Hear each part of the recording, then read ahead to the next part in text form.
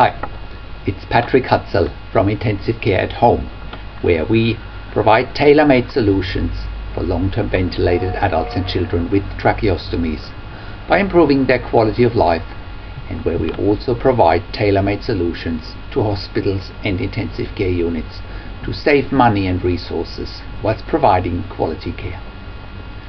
In the last blog I shared antidepressants and long-term ventilation in intensive care. You can check out last week's blog by clicking on the link below this video. In this week's blog I want to look into is looking after long-term ventilated patients with tracheostomies in intensive care best practice. Today I want to dive deeper into what's currently happening for long-term ventilated adults and children with tracheostomies in intensive care, as well as when they are in their own homes with specialized services like intensive care at home. Current trends in Australian intensive care units suggest that the only place for somebody medically stable on a ventilator with tracheostomy is to stay in ICU. Medically stable ventilated adults and children with tracheostomies need highly specialized care, and there is no question about that. Medically stable ventilated adults and children with tracheostomies and their families also need more tender loving care than any other clientele in intensive care. They need a massive boost to their quality of life and in some instances to their quality of end of life.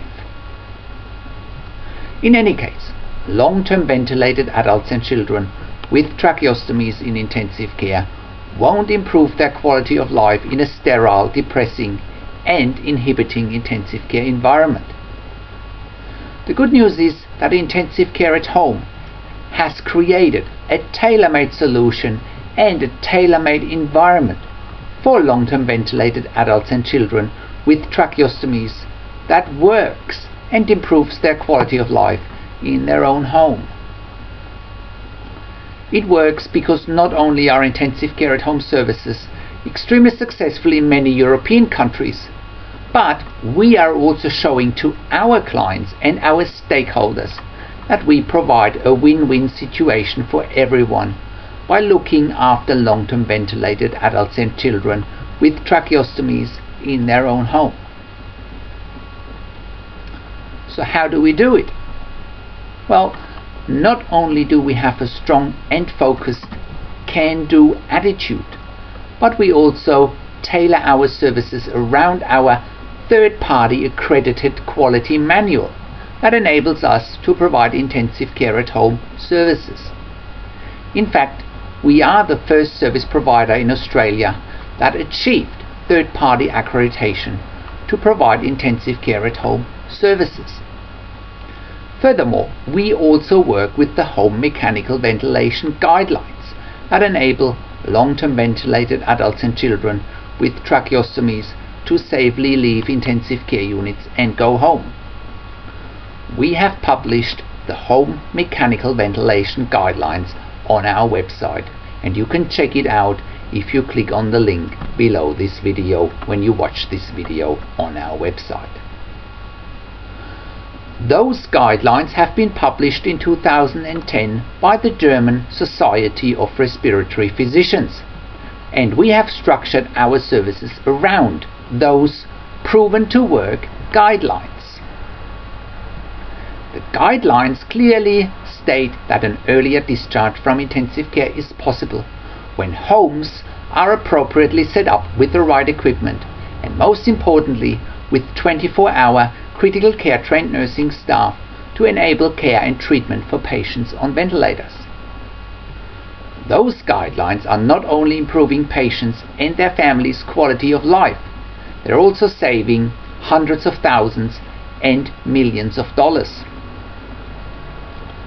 Keep in mind that DRGs, which stands for Diagnosis Related Groups, A06A and A06B, which are both DRGs for long-term ventilation with tracheostomies in intensive care, are the second highest ranking DRGs in terms of cost in Australia.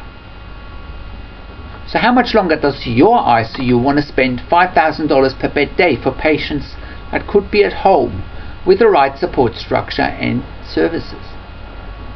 How much longer do your, do your long-term ventilated patients with tracheostomies and their families need to wait to improve their quality of life at home? What are your thoughts? Do you think that treating medically stable long-term intensive care patients in ICU is best practice? What about proven alternatives that are already working? leave your comments on the blog. For more information, you can contact me on 041 094 2230 or email me at patrik at intensivecareathome.com.au. That's Patrik, just with a K. We are also currently hiring enthusiastic and experienced intensive care nurses with critical care certificate for ventilated clients in Melbourne. We would also like to hear from you if you have a minimum of two years pediatric RCU experience, as we have opportunities there as well. For more information, check out our career section, or again, you can contact me. And of course, you can also contact me if you want to know more about how we can help you, your intensive care unit, and your patients and families. Or, of course, if you have a loved one in intensive care on a ventilator with tracheostomy, you should definitely contact us as well. Thank you for tuning into this week's blog. This is Patrik Hutzel from Intensive Care at Home, and I see you again next week in another update.